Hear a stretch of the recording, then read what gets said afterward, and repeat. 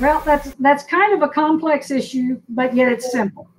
Uh, first and foremost, there are a lot of other form, uh, formulations out on the market these days.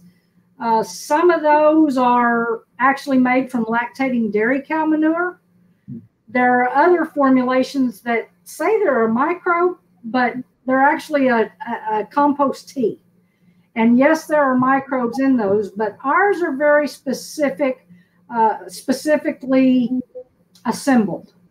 And what I mean by that is, okay, I've already mentioned that that we already we have a there's some formulas that do the lactating dairy cow manure, and those guys that make those types of formulas, it typically takes a good eight months to stabilize that microbe solution and get the E. coli and salmonella out of it.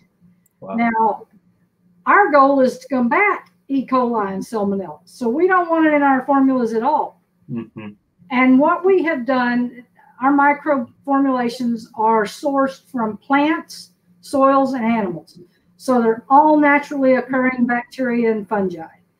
Um, our formula is actually made in a kitchen in petri dishes. So we we we have the the bacteria and fungi that we want to assemble just like you put together chocolate chip cookies. And that's essentially what we do with our formulations so for our soil care formula we have what we call it our starter dough formula just like you'd have a yeast starter dough. Mm-hmm. we have a base formula that we start with like that.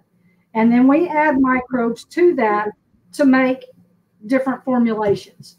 Uh, it's kind of unique because they're again referring back to the lactating dairy cow manure solutions. Think about it. When that when that cow eats, she eats different stuff every day.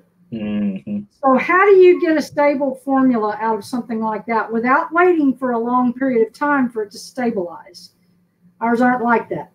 We put our chocolate chip cook uh, chocolate chips in, we put our flour in, we put our brown sugar in, our eggs, and we mix it together we let it sit for four to seven days and we have a solution.